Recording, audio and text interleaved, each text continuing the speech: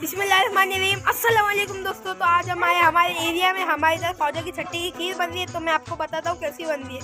और ये है उसे। तो दोस्तों, ये हमारी खीर और ये है काजिम भाई। दोस्तों, आपको तो